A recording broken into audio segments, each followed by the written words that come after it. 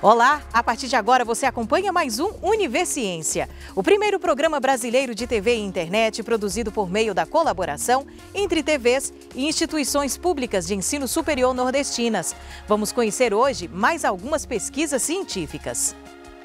Saúde física dos policiais militares é abordada em pesquisa da Universidade Federal do Ceará. Um estudo do Instituto Federal do Maranhão mostra o impacto da fotografia na sociedade de São Luís. E ainda, cientistas da Universidade Federal de Sergipe mostram os efeitos dos impactos da erosão costeira no cenário ambiental do estado.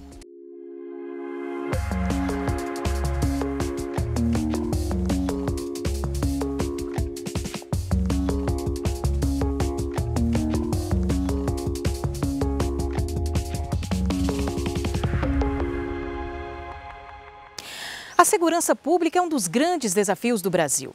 Os problemas deste setor afetam a sociedade de diferentes formas. E pensando nisso, uma pesquisa desenvolvida pela Universidade Federal do Ceará lançou um olhar sobre um assunto importante, porém não muito abordado: a saúde física e mental dos policiais militares. Vamos conferir mais a respeito dessa pesquisa?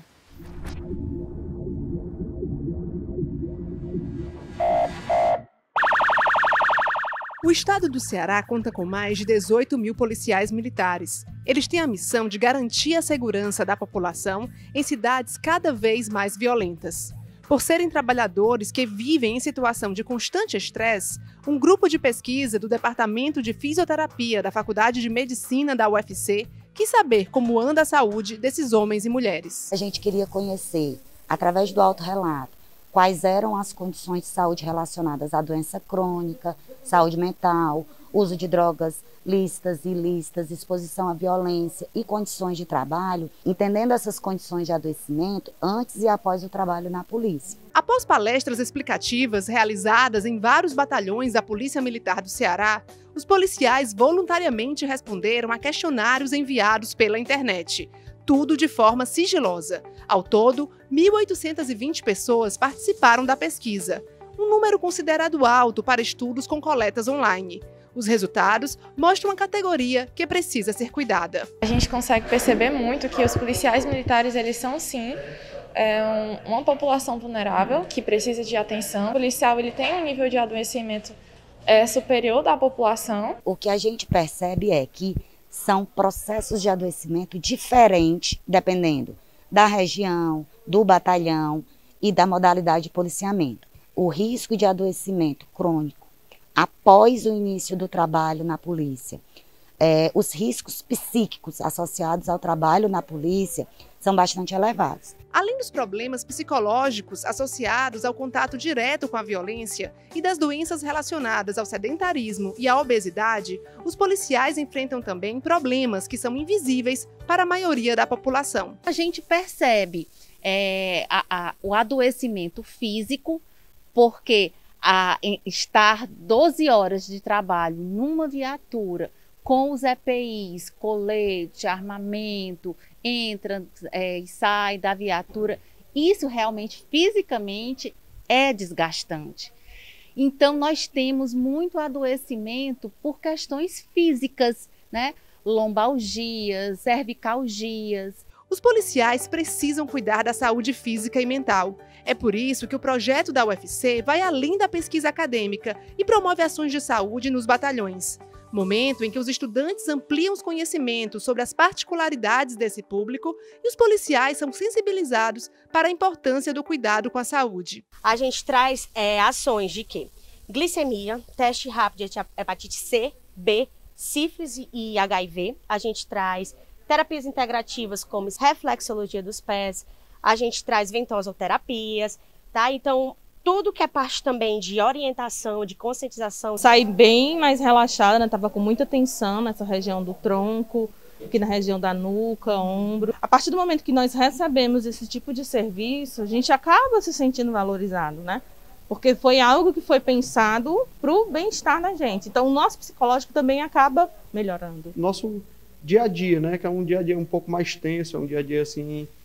E assim, a Polícia Militar, ela é um, é um pouco mais retraída para a questão de procurar esse tipo de ajuda, procurar esse tipo de, de procedimentos. a gente é, um, a gente é já de natureza já um pouco mais contido a respeito de expressar as dores ou, ou algo do tipo assim que, que, esteja precisando, né? A gente não procura esse tipo de apoio. E assim, esse apoio vindo até o quartel é de fundamental importância. A realização do projeto é fruto de uma articulação da UFC com a Secretaria de Segurança Pública e Defesa Social do Governo do Estado e com a Polícia Militar do Ceará. Um trabalho em rede que busca implementar mudanças que melhorem a qualidade de vida dos policiais. Coisa que a gente tem de bastante positiva é a gente considerar que quando você desenha uma pesquisa e constrói com parceiros estratégicos na perspectiva de mudança de cenário, a gente consegue ver isso. A importância da, da pesquisa né, desenvolvida pela UFC com a polícia militar, ela é fundamental, porque a gente sai do empírico para o científico e a gente trabalha com dados consistentes e esse argumento é forte para a ressignificação e a construção de novas políticas de saúde e de valorização desse trabalhador na instituição. Os policiais, eles percebem essa presença mais forte da, desses serviços que tanto a coordenadoria como a Universidade Federal, junto com a pesquisa, ela acaba oferecendo. A instituição hoje é muito aberta para o público, para a faculdade, para as experiências.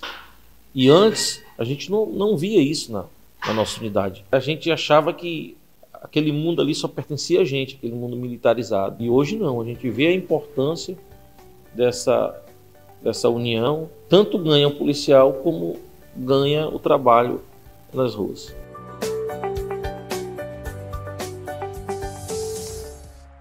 E a seguir, o impacto da fotografia na sociedade de São Luís do Maranhão. Universiência volta já já.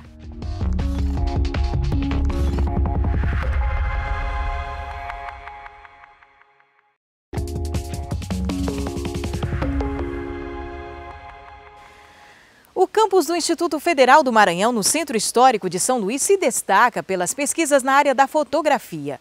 Foi lá que a pesquisadora Marília Elizabeth de Laroche acabou de concluir a sua especialização em arte, mídia e educação.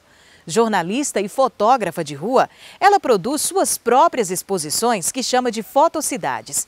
Mas não é só isso. O trabalho registra também a reação das pessoas que observam as fotografias. Com isso, ela pôde estudar o impacto da obra nesse percurso sociocultural das pessoas que nascem em São Luís. Questionar o papel das artes visuais foi o que motivou seus estudos.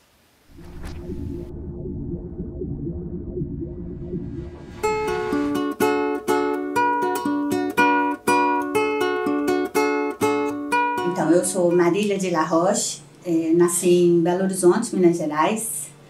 Sou graduada em comunicação social, é, opção em jornalismo desde 1983. Fui morar em São Luís do Maranhão, me instalei aqui e aqui eu, eu me dedico às poéticas visuais de rua, né, às poéticas contemporâneas de rua. Hoje eu, eu, eu acabo de terminar uma especialização em arte, mídia e educação e sou aluna do, do Instituto Federal é, na licenciatura em artes visuais o que eu faço são fotocidades, né? Que são, é um fotocidade é um neologismo que eu criei a partir dos verbetes foto, luz e cidade, morada coletiva. Eu fotografo, eu, eu imprimo, eu exponho e depois eu, eu registro o que, o, o, que, o que essas fotografias causam nas pessoas. Esse trabalho de registrar o depois é o que me levou à, à pesquisa. Né? É, é, perceber nas posições, porque quando eu fotografo a pessoa olhando as imagens, eu percebo gestos, sabe? É, é, a intensidade com que ela olha para as imagens, sabe? Eu, eu vou, vou buscar ali dentro é, o corpo, né? O corpo, a memória, o, o que está causando. Então, é tudo muito, muito sutil e, e, e ao mesmo tempo é, é, uma, é uma relação tão, tão linda. Há vários exemplos eu tenho de, é, dessas intervenções, por exemplo, os 400 ângulos que são 400 fotografias de 400 esquinas que eu fiz da cidade para os 400 anos da cidade. É um quadrado de 2 metros com 100 fotografias em cada lado e as pessoas têm que fazer a volta, né, virar a esquina para ver as esquinas. E, e os comentários eram absurdos. Eles falavam: Nossa, nossa, olha essa, essa esquina toda quebrada, olha essa, quanto lixo, nossa, o prefeito não faz nada. E aí que entra né, o, o, o meu papel, né, que entra é, a minha intervenção, a minha mediação. É dizer para essas pessoas, é o que eu dizia, não é o prefeito que estaciona na calçada quebra a calçada, não é o prefeito que joga o lixo na rua. Então, o que eu quero passar para as pessoas é isso, é que cada um né, tem que cuidar do, do, seu canto, a cidade é nossa, é uma morada coletiva. Então, é, essa, captar essa, essas reações nesse percurso sociocultural da cidade é o que nos interessa, é, é, é o que está no olho da rua, né? É o que está no olho da rua. É isso que são as emoções, os afetos, as indignações, é tudo que a gente busca mostrar com a fotografia, né? E, e que a gente tenta é, transmitir para as pessoas, que elas reajam. Elas, elas passam a, a refletir sobre a cidade, que é o que importa, é o que a gente quer. É que, que, que, que esse impacto da fotografia, das instalações, ajude as pessoas a a, a pensar, né, a ampliar o olhar à nossa volta. Né? É, o que, que a gente está fazendo com a nossa cidade, com a nossa vida, com o nosso planeta? Né? São muitas questões. A academia é, pede que a gente é, escolha uma metodologia, né? então são várias. Eu tive que buscar uma que me permitisse é, falar da minha experiência enquanto artista, enquanto pesquisadora e enquanto professora. Então, a, a fotografia é um ato político também, né? Então, é, eu tive que buscar uma, uma metodologia que me permitisse isso, sem, sem que eu tivesse que me basear somente no que já foi dito. Eu encontrei a artografia, que na verdade é, o, é o, um, um verbete, né, que uma, uma derivação de Artist Research uh, Teacher. Então, o a, é, artista, pesquisador, professor. É uma, uma metodologia mais aberta, né? que, que, que permite erros, dúvidas, incertezas, sabe? Porque dentro da experiência da gente, a gente tem questionamentos mil. Eu não paro de me questionar. Eu fui perceber que eu também sou uma depredadora. Sabe, a indústria digital, o cinema, a fotografia e o mundo digital é a oitava indústria mais poluente do mundo. As nuvens são estocadas em, em data centers, né, em, em computadores super potentes que aquecem. E para esfriar esses computadores, a gente precisa de muita água, muita água. A fotografia é, é, gasta um terço de toda a prata do planeta. Essa pesquisa ela vai nisso tudo, entendeu? Assim, não, além do impacto que ela causa, né, é, o impacto que a fotografia causa também, né? de outra maneira, tanto nas pessoas quanto no planeta. A pesquisa ela, ela não se fecha numa conclusão, justamente. A gente, a gente optou por deixar em aberto né, é, esse leque de questionamentos. Talvez é, parar de fotografar não é por aí. Né? mas fotografar menos, evitar, é, sei lá, evitar as nuvens, são questões, entendeu? Para mim são questões, eu não vou achar as respostas assim. Que já disseram, não sei quem foi que disse, talvez Einstein, não são as respostas que mudam o mundo, são as perguntas, né? Boa parte do povoado do Cabeço, em Brejo Grande, no Baixo São Francisco, em Sergipe, ficou submersa no final dos anos 90. Muitas famílias precisaram ser deslocadas para a comunidade do Saramém, também às margens do Rio São Francisco, a 107 quilômetros de Aracaju. O fenômeno que levou ao despovoamento é chamado de erosão costeira, um processo natural provocado, entre outros fatores, pela elevação do nível do mar ou por tempestades, porém intensificado pela ação humana, como a construção de barragens. É sobre isso o estudo que os cientistas da Universidade Federal de Sergipe estão desenvolvendo. Eles mostram os efeitos dos impactos da erosão costeira no cenário ambiental do estado.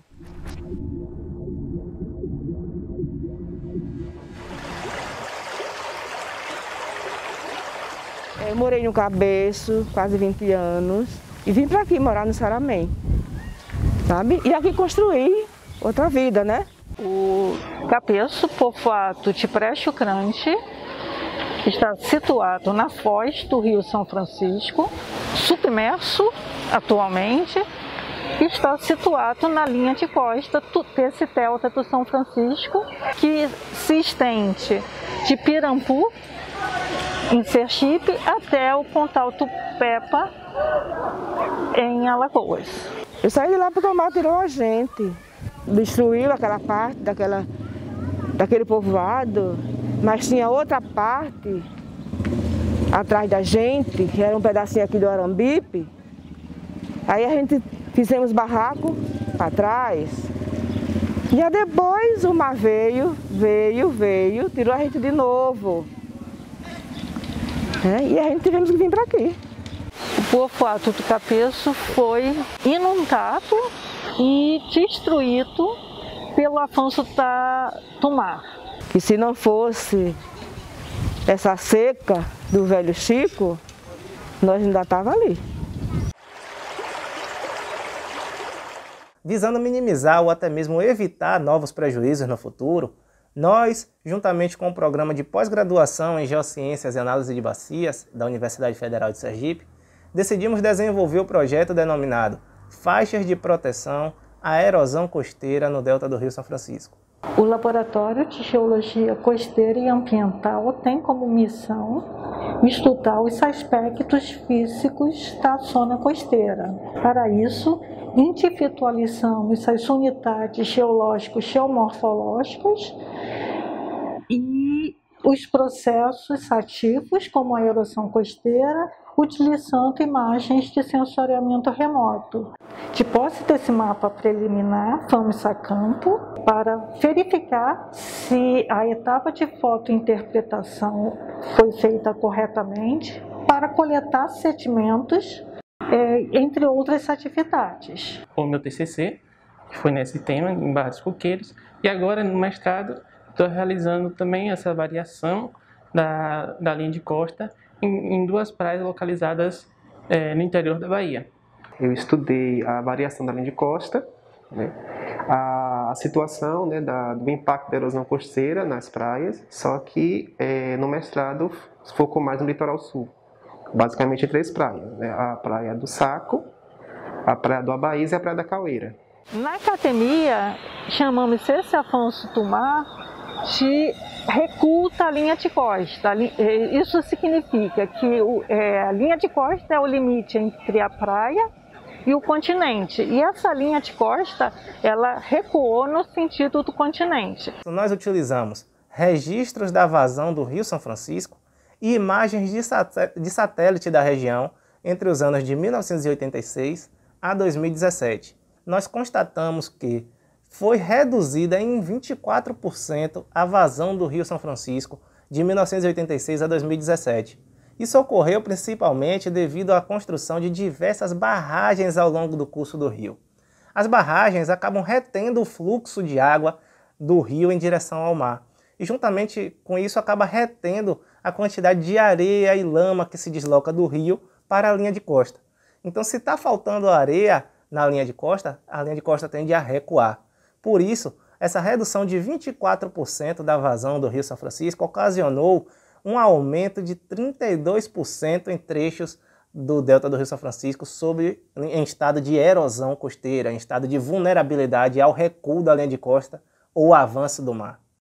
As pessoas que viveram desse velho São Francisco sofreu. Era só água do mar, não era do rio, do rio não, era só do mar.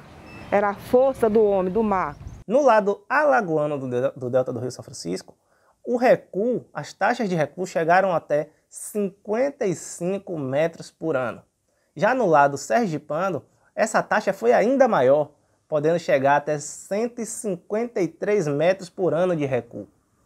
Essas taxas foram utilizadas para calcular as faixas de proteção costeiras, que no lado sergipano do delta do Rio São Francisco determinaram que a largura de segurança seria, a partir da linha de costa em direção ao interior do continente, um recuo de 3.600 metros para que as ocupações humanas estivessem em segurança até o ano de 2037. Veja daqui a pouco os principais desafios da educação no campo. É depois do intervalo, o Universiência volta já já.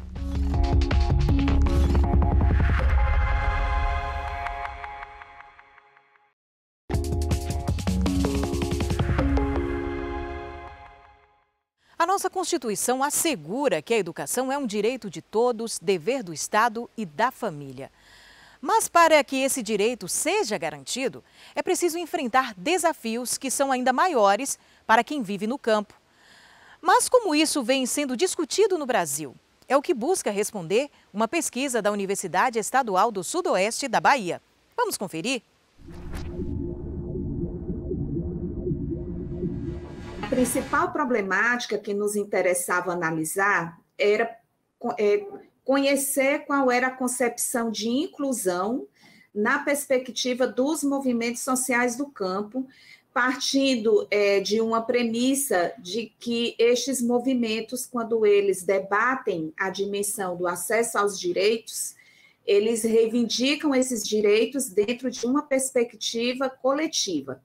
Então, a gente quis é, analisar como é que se constrói isso em termos de, de fundamentos do direito e também de uma reivindicação de direitos a partir da luta desses povos. Na verdade, essa pesquisa é resultado já de um arcabouço de estudos que eu venho fazendo junto com a professora Lia Barbosa, tanto no grupo de pesquisa dela como no meu grupo de pesquisa aqui na UESB, que é o GEPENDEC. E nesses grupos a gente discute a perspectiva dos movimentos sociais enquanto sujeitos coletivos, a sua diversidade, observando aí a prática política e educativa desses sujeitos coletivos. A gente viu né, que entre os desafios que nós observamos na conjuntura brasileira, mas também dentro da conjuntura latino-americana, é o fato de que os jovens ou as populações que estão localizadas nas zonas rurais, elas são, por excelência, aqueles sujeitos coletivos que têm o menor acesso a direitos, inclusive direitos constitucionais, como o direito à educação.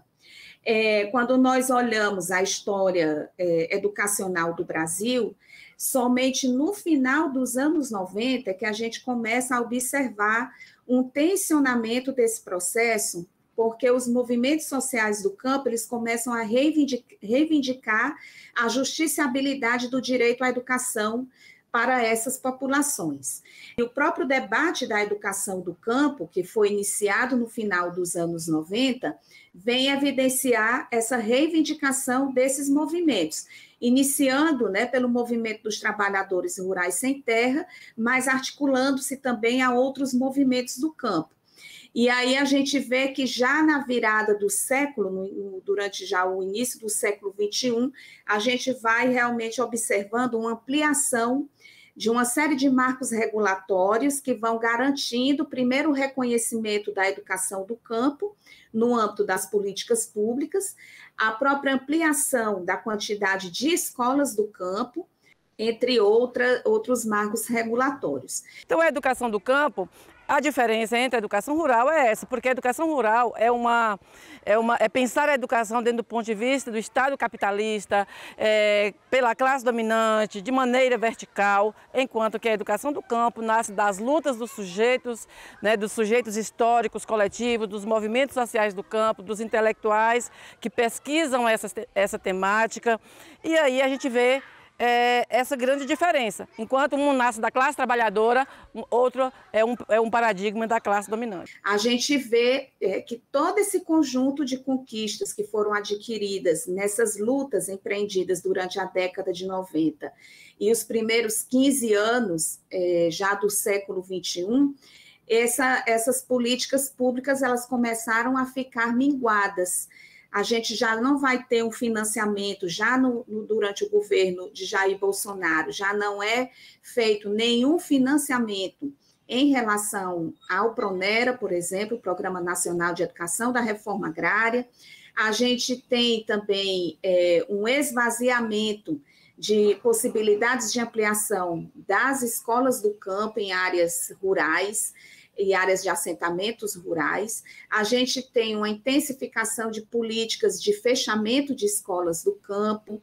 E toda uma série né, de recorte também no financiamento das pesquisas relacionadas à área, porque, inclusive, nas universidades a gente tem sofrido também um amplo recorte dos recursos. Nas nossas pesquisas, o que a gente tem observado, por exemplo, né, que a gente tem trabalhado dentro da perspectiva das políticas educacionais, nós temos trabalhado com o impacto do plano de ações articuladas dentro das escolas do campo. E o Plano de Ações Articuladas, o PAR, que surge em 2007, na época que o ministro da Educação era o Fernando Haddad, no governo Lula, é, de lá até hoje, né, ele já passou por quatro ciclos e a gente tem buscado entender como que, esse, que esses programas do Plano de Ações Articuladas têm impactado na educação do campo. Aí, quando a gente vai para a questão, por exemplo, de laboratório de informática, né, a gente percebe que quando começou, lá em 2007, a gente tinha em média 5% só de escolas do campo com laboratório de informática. Hoje a gente, tem uma média de 15%. Né? É, a, a, questão da internet na escola, né? banda larga, que a gente tinha uma média de menos de 10%, hoje a gente tem uma média de 40%. O próprio transporte escolar, que é o programa A Caminho da Escola, o Brasil Carinhoso, que a gente não tinha esses programas antes e que eles têm impactado consideravelmente para a permanência e a continuidade, o acesso e a permanência da educação dos alunos do campo na escola. Historicamente, quando a gente olha para a presença das escolas nas zonas rurais, você tinha antigamente só até o que seria a quarta série, né? Era na época ainda das séries. Todas essas lutas que foram empreendidas na década de 90 e que, que, que culminaram também na, na, construção também de uma política nacional de educação do campo, elas permitiram garantir o acesso universal na educação básica, permitiram também ampliar a presença das escolas do campo é, em muita, muitas regiões do país, principalmente no Nordeste do Brasil, e, inclusive, também permitiram uma ampliação da presença das juventudes camponesas dentro das universidades. Então, a gente percebe que tanto na, na, formação continuada com vários programas, na gestão escolar, na prática pedagógica, essas políticas educacionais, nesse decorrer do plano de ações articuladas, ele, ele tem feito com que o ensino se é, melhore consideravelmente nas escolas do campo. Né? Claro que a gente também tem que ressaltar que ainda estamos num processo de avanço. Muito precisa ser feito ainda e a gente espera que haja um compromisso político, educacional, né? da, da, dos gestores, dos próximos gestores, nesse sentido de melhorar ainda mais as condições de acesso e permanência das nossas crianças do campo. E o Universiência de hoje fica por aqui, mas no próximo programa tem mais pesquisas científicas produzidas pelas instituições públicas de ensino superior do Nordeste para a gente conhecer. E você já sabe, se tem alguma dúvida ou sugestão, envia para o nosso e-mail universiência.uesb.edu.br que a gente explica por aqui num próximo programa. Tchau, tchau e até lá!